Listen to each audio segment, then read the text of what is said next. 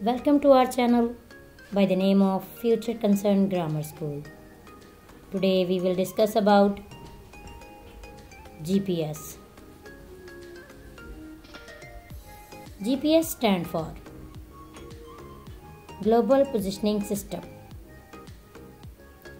A global positioning system GPS is a network of satellite and receiving device used to determine the location of something on earth.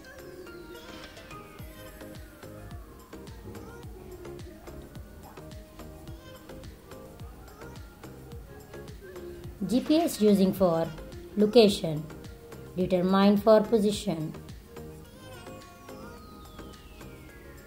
navigation, getting for one location to another,